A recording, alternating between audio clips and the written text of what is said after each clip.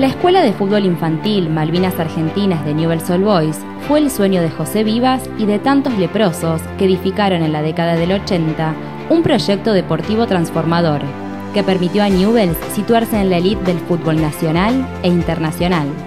Siendo empleado de ferrocarriles argentinos, don José logró mediante un plan de pago mensual la cesión de los terrenos donde hoy se emplaza la escuela. Eran tiempos donde Newell's disputaba la Liga Arditi, lo que no impidió darle forma a un pequeño estadio con las necesidades básicas satisfechas, como vestuarios, agua y luz. Para lograr que Malvinas se transformara en una fábrica de talentos, hubo que transitar un arduo camino. En los inicios, el terreno fue un baldío de piedras y vidrios, que los mismos chicos ayudaron a despejar. Con el pasar de los años, la escuela fue creciendo e incorporando categorías, lo que generó que el propio José Vivas le propusiera a la comisión directiva la compra del predio de Bellavista, lugar en el que hoy en día entrenan las categorías juveniles y el equipo de primera división. Con el hecho concretado, Malvinas dejó de ser una experiencia aislada, conformando una estructura articulada con el trabajo de divisiones inferiores.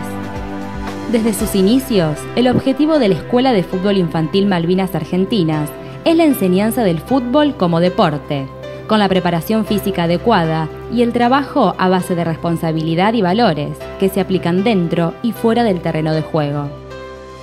Aquí se cimentaron los conceptos futbolísticos y humanos de grandes jugadores de fútbol, quienes dieron sus primeros pasos en los terrenos de calle Ceballos 3185.